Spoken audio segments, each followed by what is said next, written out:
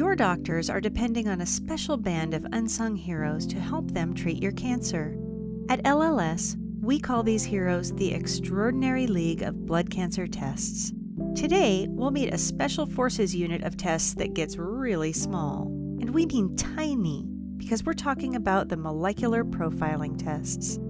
If you're asked to have one of these tests, you may have questions like what exactly is molecular profiling? And what kind of tests might my doctor order? And what can I expect? But to answer these questions properly, you really have to understand how cancer works. See, your body is made of trillions of cells. Healthy cells typically grow and divide to form new cells. When old or damaged cells die, new cells take their place. But if those cells mutate, they can behave very differently. In this case, old and damaged cells survive, and mutated cells may start dividing out of control, crowding out the healthy cells. Now, every kind of cell, even cancer cells, have their own unique set of characteristics. And every kind of cell has unique biological markers, or biomarkers, that indicate whether those cells are behaving normally or not. And that's where molecular profiling comes in. See, molecular profiling uses incredibly sensitive technologies to identify these cancer biomarkers. It helps detect and diagnose disease much more accurately.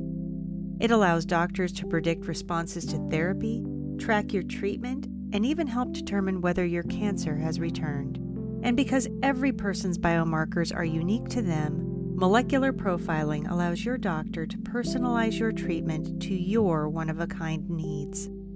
Some of the most common molecular profiling tests include immunohistochemistry, or IHC, quantitative polymerase chain reaction, more commonly known as qPCR, next generation sequencing, and something called fluorescence in situ hybridization, though it's more commonly called the FISH test.